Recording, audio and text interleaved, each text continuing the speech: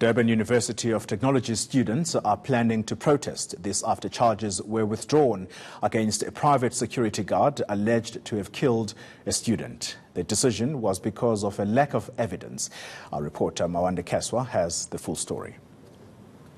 Demanding justice for one of their own, Mlungisi Madonsela died during a student protest at the Durban University of Technology earlier this year allegedly at the hands of a private security guard contracted to the institution.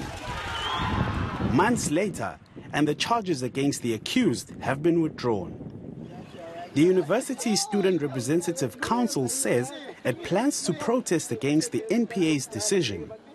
We were very astonished and we are very disappointed about their response because it seeks to undermine us as a student. It cannot be true that uh, they can kill one of our students and then they can drop all charges without any justice. The justice system has failed us, and that is very disgusting.